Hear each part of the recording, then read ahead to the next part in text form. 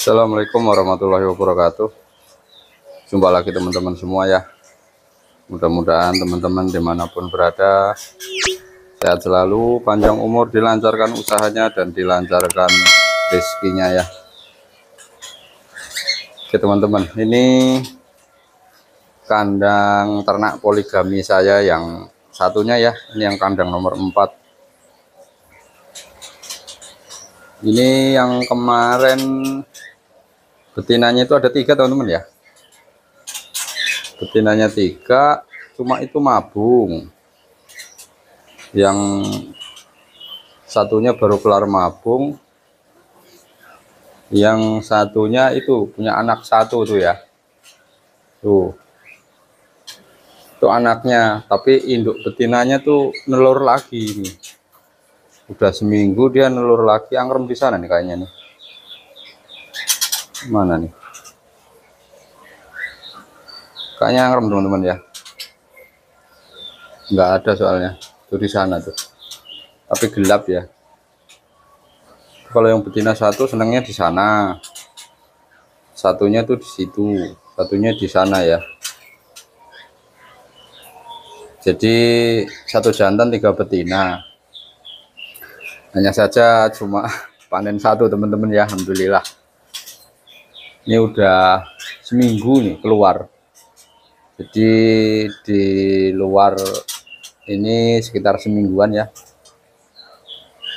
Sudah ditinggal angerem lagi sama induknya tuh. Tadinya telur dua. Telur dua netes satu Alhamdulillah lah.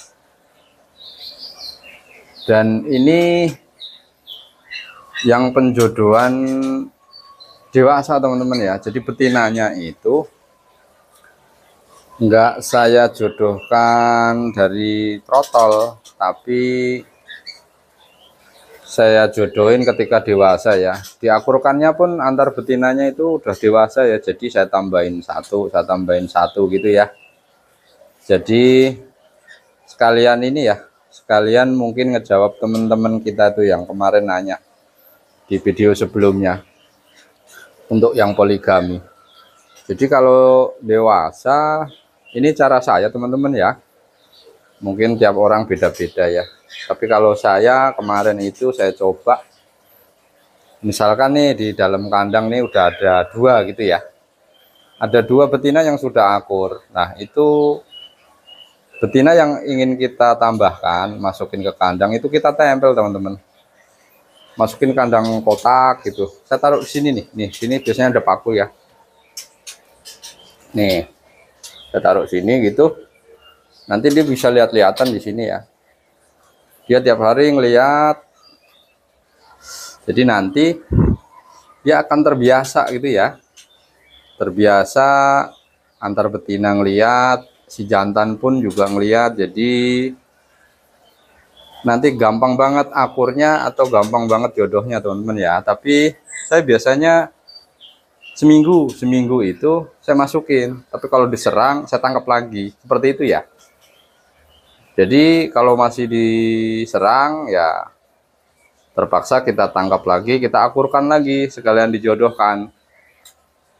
Kayak gitu dan seterusnya teman-teman. Tapi kadang kemarin juga pernah kebetulan ini kan ada yang mati satu ya ditambahin lagi gitu ada juga yang langsung jodoh ya. Itu tadinya empat ini betinanya gitu. Hanya saja belum rezeki yang satunya mati teman-teman ya. Kayaknya makan kupu kleper ya. Soalnya kandang saya ini hitungannya kelihatannya tertutup tapi ya terbuka juga teman-teman. Jadi ada celah kupu itu masuk ya lewat itu tuh ventilasi itu. Jadi di sana itu sisi timur teman-teman ya. Tembok itu sisi timur. Ya tujuan saya sih biar sirkulasinya dapat, kemudian sinar mataharinya pun dapat ya. Kebetulan ini tinggi di lantai dua dan itu ada lubang-lubang ventilasi jadi matahari bisa masuk. Ya harapannya biar burung tetap sehat gitu ya karena biar bagaimanapun namanya burung tetap butuh sinar matahari teman-teman ya. Nah itu cara saya jodohin cara saya ngakurin untuk ternak poligami ya. Jadi lebih dari satu betina. Yang kemarin itu udah saya jelasin ketika poligami dari trotol. Itu langsung dicampurkan saja ya dari trotol ya tapi kalau dewasa ya seperti tadi yang saya jelasin ya itu cara saya teman-teman ya. Mungkin teman-teman di luar sana punya cara lain ya. Dan untuk kandangnya ini juga ukurannya sama teman-teman. Sama kandang nomor 5 ya. Nomor 5 yang kemarin sempat saya videoin ya. Ini ukurannya sama hanya saja yang beda itu pintunya ada dua teman-teman ya ini pintu satunya. Dan sebelah kanan ini yang pintu keduanya. Gitu ya. Ya tujuannya ya lebih gampang aja teman-teman ya.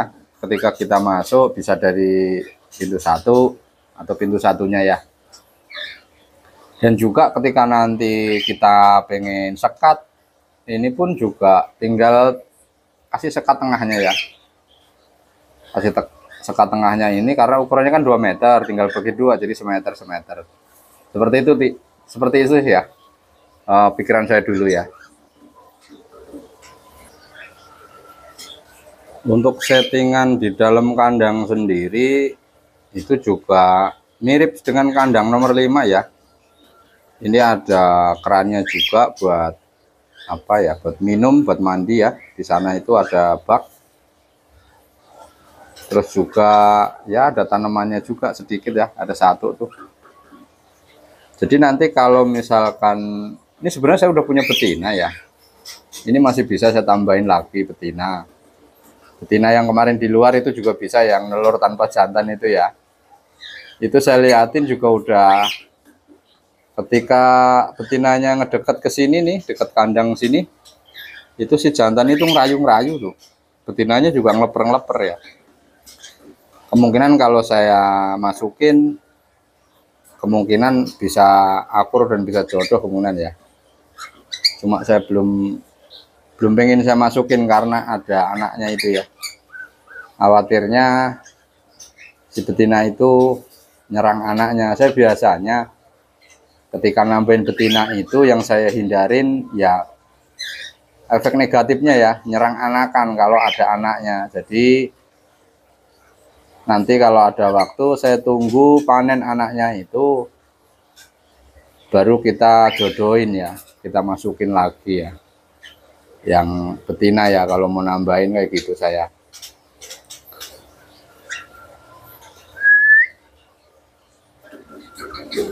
Oke teman-teman ya uh, saya ucapin banyak terima kasih yang sudah setia menonton yang sudah subscribe. Semoga lancar usahanya lancar rezekinya teman-teman ya kemudian yang belum subscribe silahkan subscribe teman-teman. Subscribe itu gratis ya. Kita bisa berbagi pengalaman. Mungkin pengalaman seorang peternak itu ada miripnya tapi pasti ada bedanya ya. Dan pasti ada pengalaman-pengalaman baru yang kita dapat ya. Saya juga masih banyak kurangnya teman-teman ya. Kita belajar terus. Setiap tahun pasti kita nemuin masalah baru ya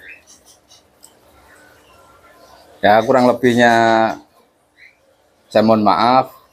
Semoga teman-teman di sana sukses selalu ya. Saya akhiri. Wassalamualaikum warahmatullahi wabarakatuh